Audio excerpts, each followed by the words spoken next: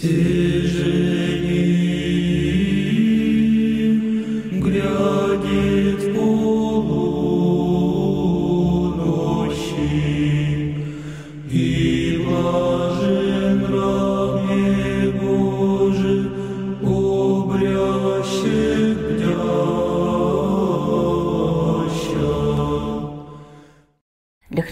христианина тема внимания к своей внутренней жизни всегда актуальна, и ей мы посвятили несколько уроков в нашей школе покаяния. Эти уроки мы проводили, опираясь на статью святителя Игнатия Бринчанинова «Чин внимания себе для живущего посреди мира». Хотя на эту тему святитель немало написал и в других своих произведениях.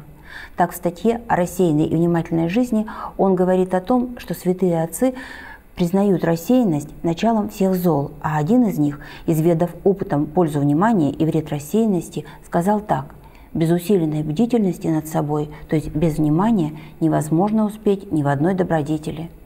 И мы на наших уроках пытаемся выяснить, как сохранять внимание в течение всего дня – Благодаря святителю Игнатию у нас уже есть представление о том, какими делами, словами, помышлениями можно наполнять этот день, с чего он должен начинаться и чем заканчиваться.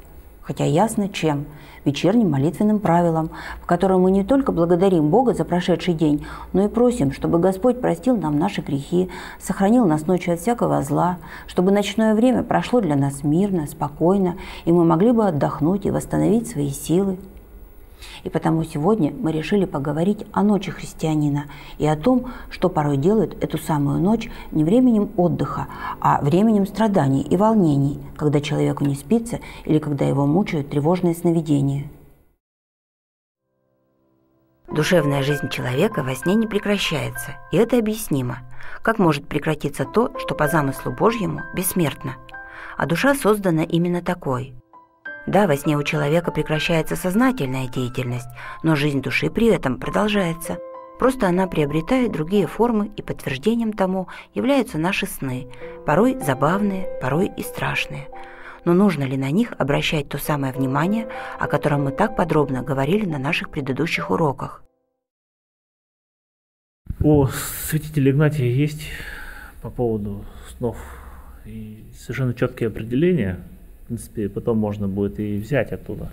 Но самый главный принцип, особенно, мне кажется, актуальным в наше время, когда э, христианами очень себя часто называют люди, которые или занимались оккультной практикой, или продолжают, к сожалению, заниматься, не зная, что это противоречит вообще христианской вере, истине Христовой. Они продолжают доверять снам и к снам относиться очень внимательно. Да, мы в Священном Писании видим примеры, когда именно во сне э, Господь э, свою волю совершенно четко определяет какому-либо праведнику, или в исключительных э, случаях человеку какому-то, да, то про нас мы должны с вами, ну, на мой взгляд, прямо определиться твердо, что пророчествовать нам в снах – нет никакой необходимости, потому что вся истина, она уже определена в Евангелии, растолкована церковью, святыми отцами. О чем пророчествовать? О чем сны? Какие могут быть какие-то чудесные там сны? Зачем они нам нужны? При нашей такой слабости и э, соблазнах уклониться э, от истины, допустим. Поэтому э, предлагается так относиться к снам, как действительно к деятельности непонятной, но к деятельности нашей души.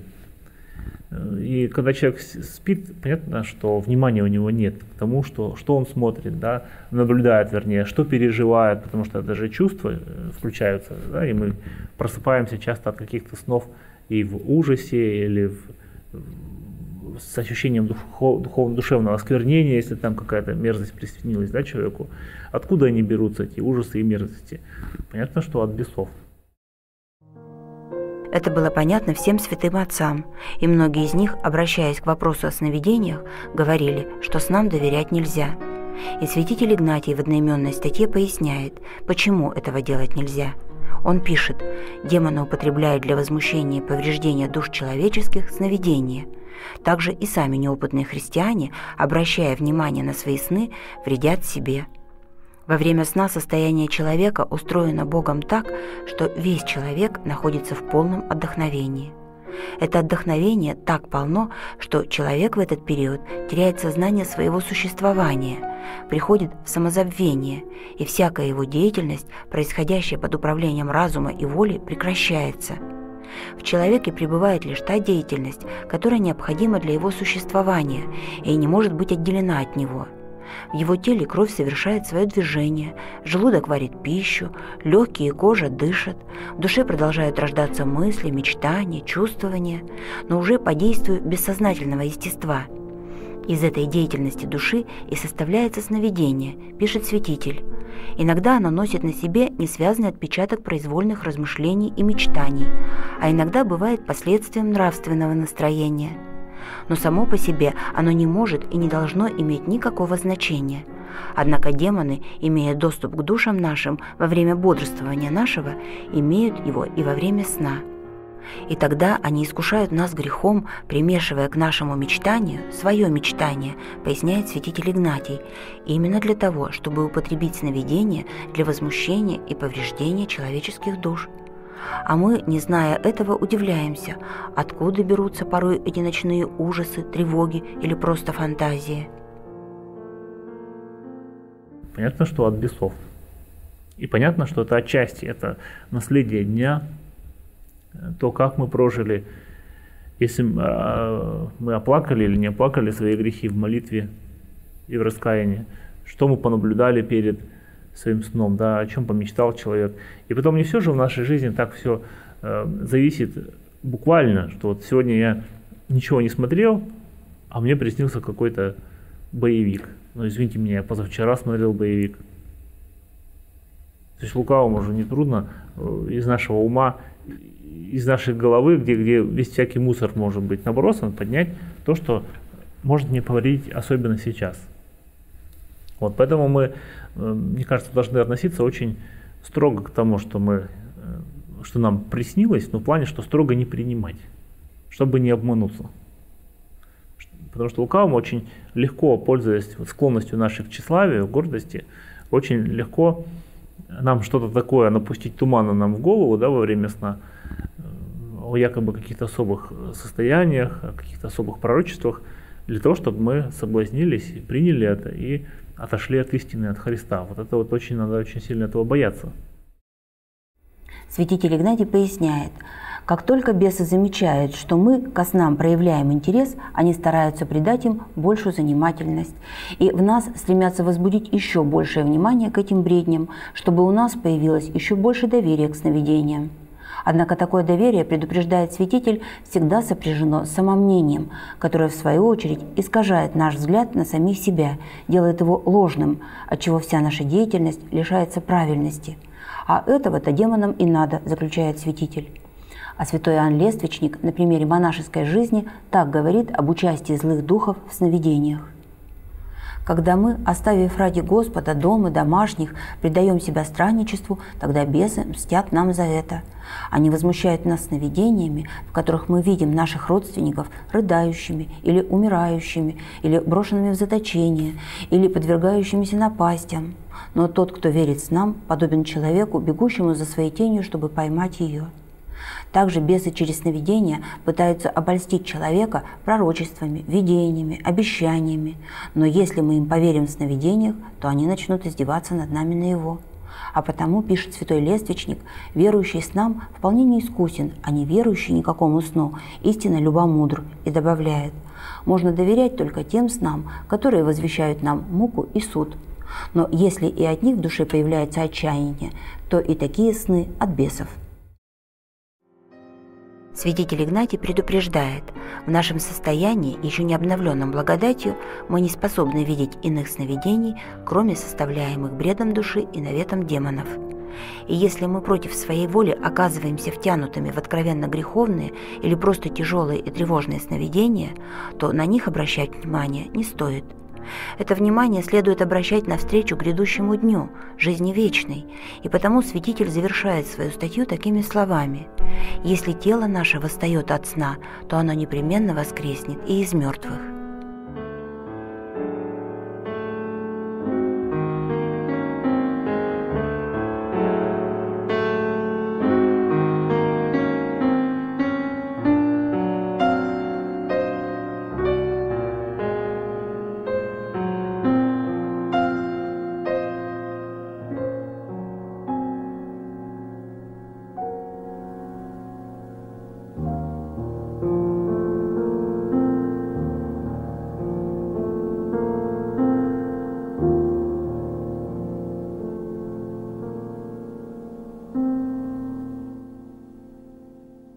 Святые отцы не обходили тему сновидений в своих поучениях, поскольку правильное отношение к ним для любого спасающегося человека необходимо, как и правильное отношение к пище, болезням, труду.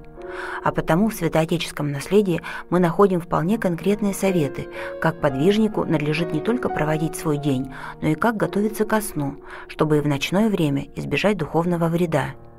Но что делать человеку, которому просто не спится? Или тому, кто страдает от хронической бессонницы? На что в это время важно направлять свое внимание?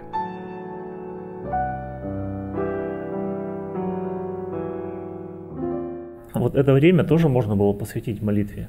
Не мечтательности, действительно, не вспоминаниям там, о том, как, как, как прошел у тебя день, там, кто тебя чем обидел, чем ответить на завтрашний день и отомстить, да, а все-таки попробовать э, начать молиться. Потому что э, этого, э, этого духовного дела от нас никто отнять не может. Тем более ночь, получается, никто нам не мешает. Вот просто продолжать молиться умом. Это может быть или Иисусова молитва, или молитва мытаря, или какая-то другая молитва коротенькая. Просто молиться, пока не уснешь. Э, почему так э, подробно там остановился? Потому что бывают часто вопросы такого характера, а можно ли молиться лежа, допустим? Или для этого нужно обязательно встать, одеться и затеплить лампадку и потом только молиться? Все-таки молитва, она не ограничивается правилом молитвенным, как мы говорили с вами, утренним или вечерним. Молитва вообще, по идее, в идеальном, если дне брать у идеального христианина – если такой бы был вообще, он, она бы занимала у него все время дня, когда он бодрствует. Поэтому, когда человек лег в постель, никто не запрещает ему молиться. И тут не будет никакого момента ни благоговения, потому что это не богослужение, мы во время богослужения, естественно, не ложимся никуда, да? а именно это частное моление такое, которое можно совершать везде, как мы говорили с вами, независимо от места и занятия человеком. Если он занимается не чем-то греховным, конечно. Вот. А когда человек лежит и э, уже перед сном, там у него какие-то минуты, может быть, у кого-то, у кого-то побольше, если он помолится, то будет очень хорошо. Это будет очередная настройка, да, и покаяние за прошлое, про прошлое время и прошедший день.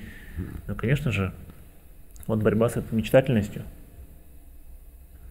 То есть молиться и, и не, не смущаться, что ты не крестишься, или что сестры без платочка лежат, спят, или ну, без какого-то такого обрядового внешнего вида, так скажем, обустройства этой молитвы.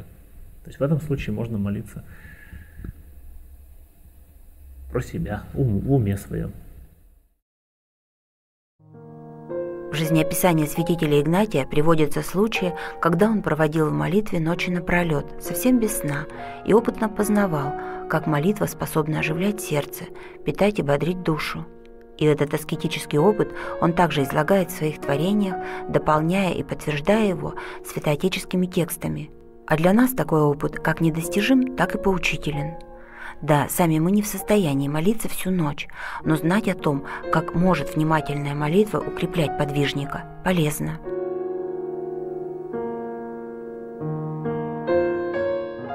Молитва уже приобретала такую силу, такую силу, что ему спать не хотелось.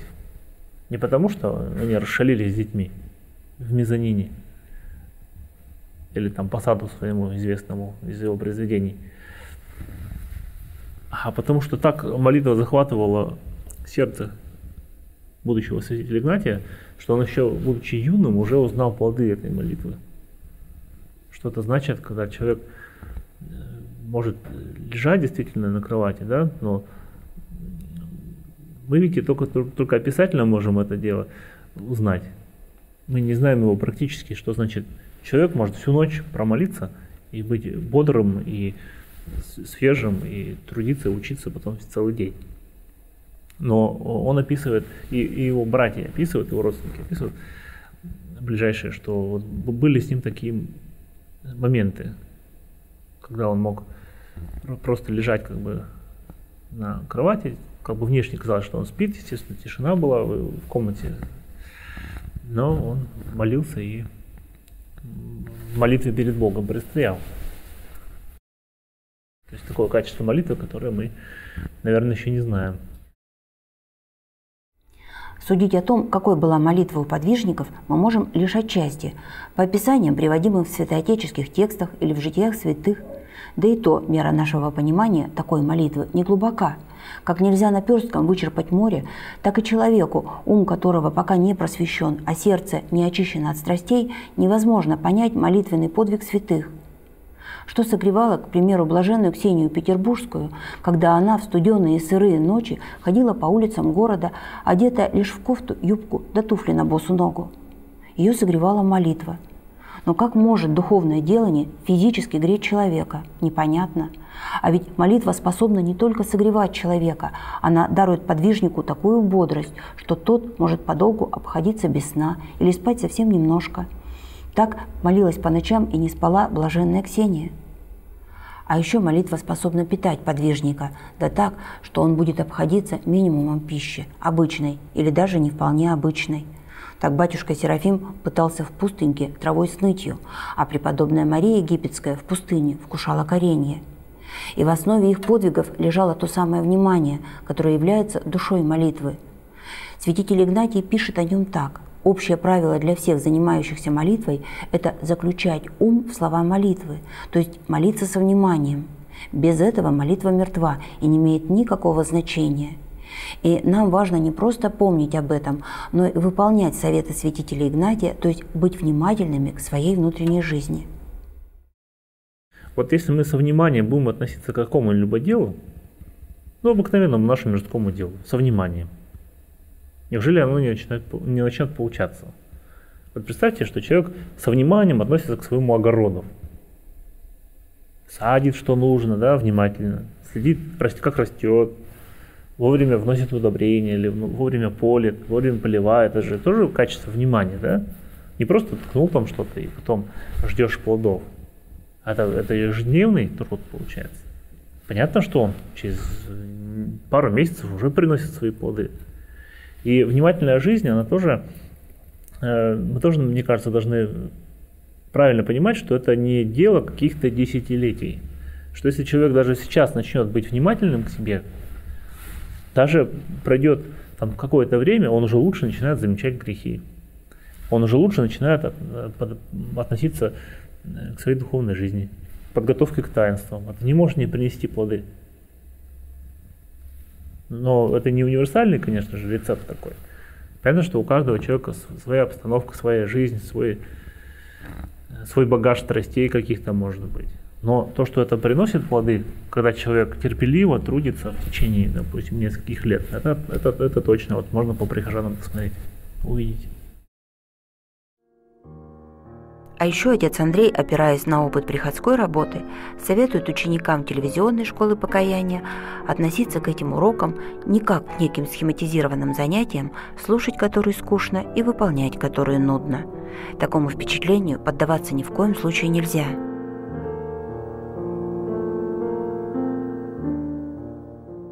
Потому что страсть уныния, она, она может сказать, вот скучный день. Вот у меня есть пример один моего знакомого – вернее, семьи вот моих знакомых, родственников, можно сказать, дальних. Очень разные люди, вот супруга и, и муж. Вот супруга, она человек такой спокойный, она говорит, главное просто жить. Вот под этим просто жить э, развивает ну, много, она вкладывает в, этот, в этот смысл. И стабильность какую-то, да, и труд, внимание друг к другу. А муж, он другой, он, он говорит, просто, его это просто жить раздражает это слово, просто жить. Он говорит, надо жить ярко. Вот, а ярко жить не получается все равно. И вот он очень мучается сам и, получается, мучается, мучает свою супругу, которая другого настроя получается. И вот э, любые разговоры в семье про режим, допустим, да, про какое-то однообразие каких-то важных дел, которые нужно повторять изо дня в день. Его выводит очень из, из себя. И он делится тем, что такими впечатлениями, что э, это привносит скуку в его жизнь. Но мы должны с вами понимать, что это как раз не образец для подражания. Ну да, у него сегодня яркая жизнь, он там устроил себе праздник – а на следующий день у него болит голова от этого праздника. И кому от этого легче? Это просто плен. Мы должны понимать, что это, это признаки нашей поврежденности, что нам нужны праздники каждый день. Так, так не бывает вообще-то в жизни-то, да? Но уныние, страсть уныния, она рисует жизнь э, христианина такой однообразной, мрачной какой-то такой, сухой, невкусной. Хочется праздника. А вот если мы с вами были внимательны, то внимание, оно и молитва, оно они давали бы человеку ощущение полноты. Пусть не сразу, конечно же, мы со своими привычками приходим к вере и, и в церковь, но со временем у человека отпадают, как, знаете, засохшие корки от раны, когда рана уже зажила, эта корка уже не нужна. Также потихонечку отваливаются вот эти э, впечатления об этой якобы яркой жизни – когда человек уже действительно стремится к стабильности, потому что он в ней, в этой духовной стабильности получает полноту жизни наоборот. Не иллюзорность, не вот эти какие-то прекрасы такие якобы этой жизни, а реальную полноту, он ее чувствует. Он ее не ищет вовне, да? он ее чувствует в себе. Вот так вот делятся люди. И, и почему-то мне хочется им верить, потому что вот по, по их жизни это так, так и получается. А когда мы вот просто жить нас это раздражает, вот, вот там страдания. День праздник, три, три мучения. Вот мы и познакомились со статьей «Чин внимания себе для живущего посреди мира». Мы не только прочли ее, но и попытались разобраться в том, как именно нам следует исправлять свою жизнь по советам святителя Игнатия, чтобы от теории перейти к практике христианской жизни, к личным аскетическим опытам, к упражнениям о Господе. А упражнения эти можно и должно делать не просто каждый день, но и многократно в течение дня.